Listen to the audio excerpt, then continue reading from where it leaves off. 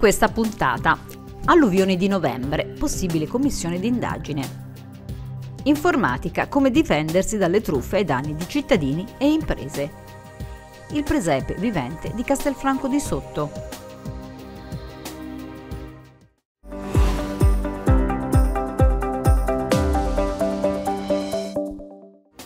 Seguito alle alluvioni dei primi di novembre, la Regione ha stanziato 12 milioni per il torrente Marina, affluente del Bisenzio, che sfondando un muro d'argine alluvionò Campi Bisenzio. In Consiglio regionale c'è stata poi polemica per la presentazione di una mozione a firma PD sulle risorse per gli alluvionati.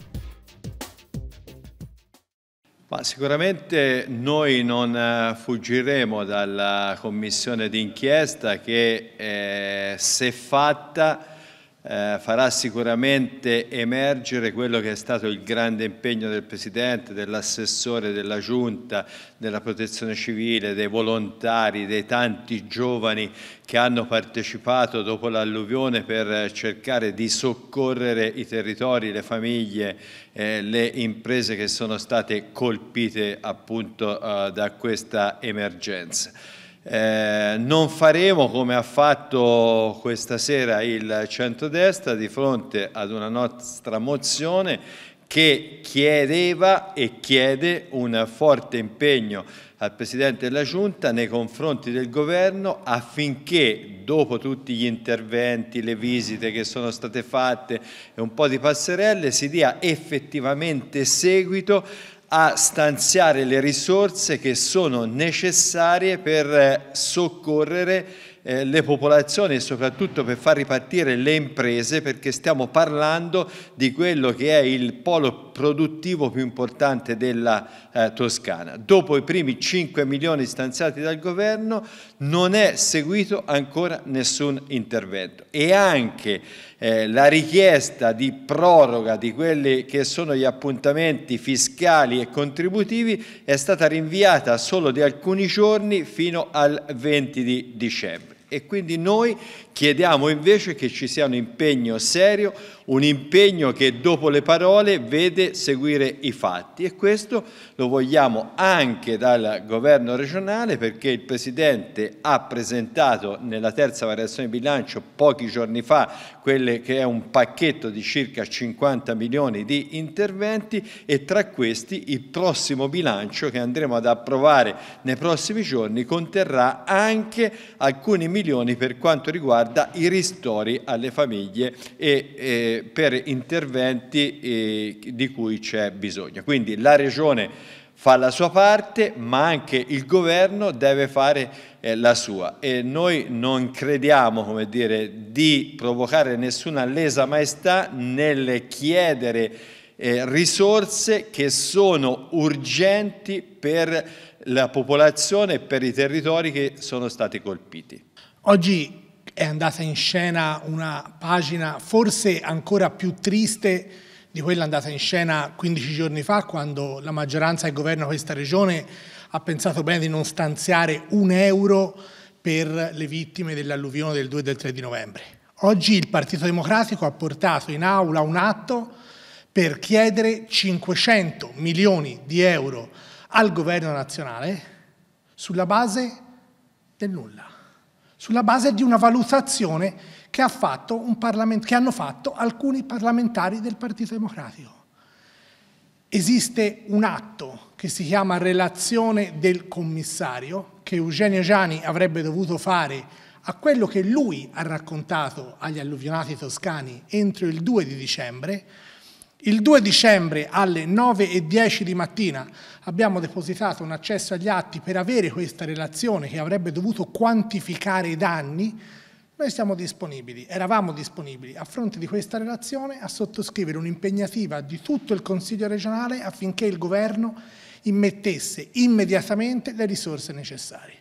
La relazione non c'è. Oggi si porta in aula una mozione ci viene detto, ma noi non abbiamo chiesto dei soldi al governo, anche se poi negli interventi hanno parlato di 500 milioni, noi non abbiamo chiesto dei soldi al governo, ma il titolo della mozione è per superare l'inadeguatezza delle risorse stanziate dal governo, cioè non sanno ancora quanti soldi metterà il governo, perché non hanno fatto la relazione, ma sanno che i soldi che metterà il governo saranno inadeguati. Questo significa strumentalizzare, fare politica sulla pelle degli alluvionati. Sabato scorso c'è stato purtroppo un altro evento eh, drammatico per l'abitato di Marina e questo nonostante che gli eventi meteorologici non fossero eventi straordinari. È evidente che le opere di contenimento del mare non funzionano più, il 2 e 3 novembre si sono eh, in qualche modo eh, rotte, diciamo così, è come se ci fosse un argine del fiume rotto, quando passa l'acqua del fiume eh, praticamente inonda le zone circostanti, altrettanto per l'abitato di Marina. Le scogliere sono di fatto rotte per utilizzare un termine eh, non tecnico ma che rende l'idea, e quando il mare si alza, c'è una mareggiata che in una zona di mare è un evento assolutamente ordinario, Marina viene allagata con dei danni gravissimi per le attività, per le abitazioni e via dicendo. Ora, su Marina gli stessi eventi non provocano lo stesso effetto. In alcune parti dell'abitato di Marina c'è soltanto un po' d'acqua di mare e strada, in altre parti c'è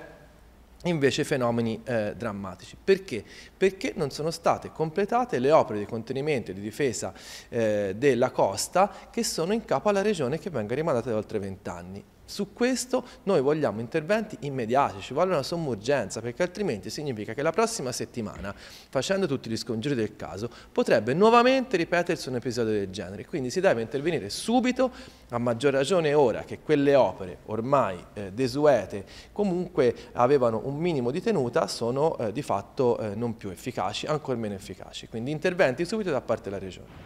A seguito delle sollecitazioni della Lega in particolar modo, un po' da tutti, ma in particolar modo della Lega, provenienti a tutti i livelli, oggi è notizia che eh, lo stato di emergenza nazionale è stato riconosciuto anche da parte del governo per le province di Lucca e di Massa Carrara. Una notizia importante che peraltro è ulteriormente positiva perché prevede l'allargamento anche a chi ha ricevuto danni famiglie ed imprese nei giorni immediatamente antecedenti, quindi quelle del 30-31 ottobre, che in particolar modo, dove io risiedo, a Viareggio, nel quartiere, nel, nella frazione di Torre del Lago, avevano avuto una incidenza molto ma molto forte con sfollamenti di oltre 10 famiglie. Naturalmente però, come noi abbiamo sollecitato a più riprese sia nelle commissioni sia in Consiglio regionale, anche con atti peraltro votati all'unanimità da tutti, seppur portati dalla Lega, è importante che a questo punto anche il Presidente Gianni faccia la sua parte fino in fondo. Perché? Perché il Presidente Gianni in data 2 novembre pronunciò un decreto sulla base di una legge regionale, la 45-2020,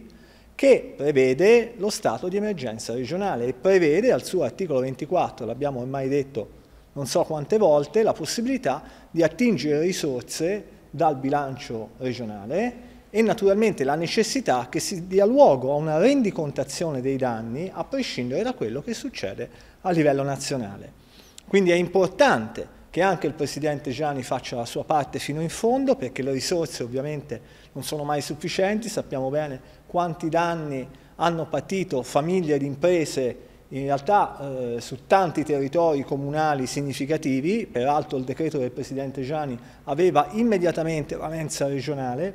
quindi noi approfittiamo di questa ottima notizia che viene dal Governo, particolarmente sollecitata dalla Lega, e torniamo a sollecitare il Presidente Gianni perché faccia la sua parte.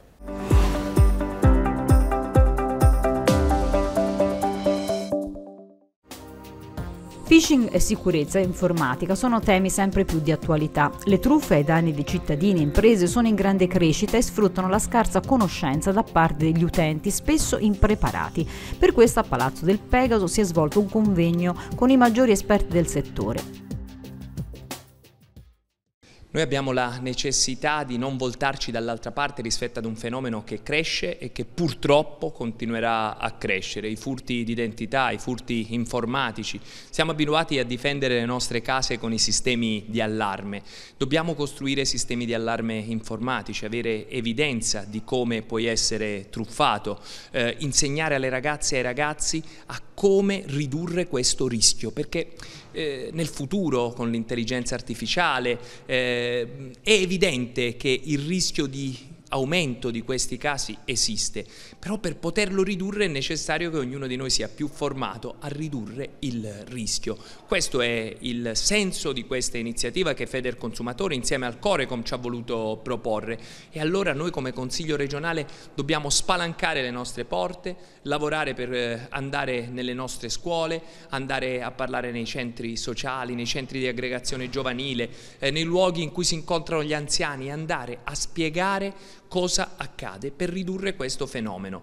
Eh, è evidente che il mondo va in una direzione eh, che è quella della digitalizzazione sempre maggiore, ma allora servono strumenti per ridurre il rischio di frodi. È un lavoro che noi vogliamo portare avanti e a cui teniamo molto. Noi abbiamo avviato proprio in questi mesi una campagna in tutta la Toscana anche di informazione, core contour su quelle che sono le funzioni, le, le vocazioni e gli impegni principali di, del Corecom. In questo senso l'iniziativa di oggi è molto importante, quella promossa dal Consiglio regionale da Feder Consumatori perché appunto eh, dà voce fino in fondo a una delle problematiche principali che i cittadini, le aziende, gli utenti vivono quotidianamente quotidianamente che è questo appunto delle truffe telematiche, delle truffe telefoniche e in questo senso c'è un lavoro anche storico de, del Corecon che il Corecon svolge col Concilia Web che è quello appunto di fare un po' da, da mediatore, da negoziatore tra l'utente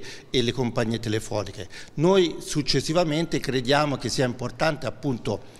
coinvolgere l'insieme dei soggetti della Toscana per una grande campagna di informazione in questo senso e noi faremo proprio un bando il prossimo anno, quello Toscana Spot, dedicato proprio a questo tema, delle truffe telefoniche, delle truffe online, in modo da premiare i migliori video che, che verranno, verranno, proposti da un po' da tutta la Toscana. Abbiamo ritenuto di organizzarla perché pensiamo che sia un tema di assoluta attualità quale, sul quale non si deve assolutamente abbassare la guardia e non ce n'è mai abbastanza. E quindi c'è bisogno di procedere con una capillare opera di informazione, formazione e educazione digitale dei giovani e degli adulti, perché ormai non possiamo fare a meno degli strumenti digitali per le nostre comunicazioni, per i nostri acquisti, per la nostra vita di relazione e ne facciamo spesso un uso inconsapevolmente incontrollato e questo ci espone a dei rischi gravi eh, che è bene appunto conoscere per poterli prevenire.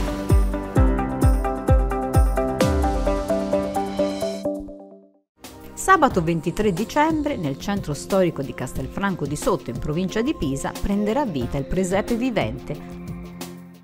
una comunità che si riunisce intorno al Natale, tante associazioni che insieme lavorano per mandare un messaggio di speranza, il racconto di un'identità che è quella di Castelfranco e del suo modo di vivere il Natale. Questo è bello che quel momento non sia un momento solo per chi vive a Castelfranco, ma un momento in cui i cittadini della Toscana, da tutta la Toscana, possono andare a conoscere il presepe vivente di Castelfranco, ma anche andare a vedere quanto c'è e quanta bellezza c'è in questo splendido borgo in provincia di Pisa. Un'iniziativa importante perché è un richiamo eh, per tante persone, un'iniziativa importante per l'alto numero di persone che partecipano, oltre eh, 100 figuranti, è un'iniziativa importante perché ci richiama a quelli che sono i valori autentici eh, del Natale, è importante perché si svolge all'interno eh, del nostro centro storico, luogo centrale per quanto riguarda la nostra cittadina ed è importante perché vede il coinvolgimento di una realtà associativa che è assolutamente viva. Il Comitato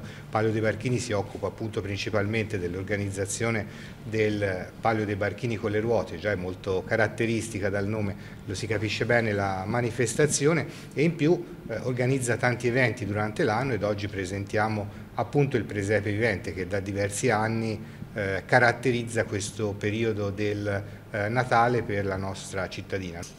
Quest'anno volevamo segnalare che siccome sono 800 anni che, eh, da San Francesco che ha inventato il primo presepe vivente, quest'anno il nostro presepe vivente che si svolge in quattro piazze tipiche di Castelfranco avrà anche delle piccole rappresentazioni di come Francesco ha ideato questa cosa e quindi ci saranno anche brevi rappresentazioni di un paio di minuti, tre minuti, eh, poi ci saranno dei cori, dei balli medievali, insomma sarà un presepe vivente molto ricco quest'anno.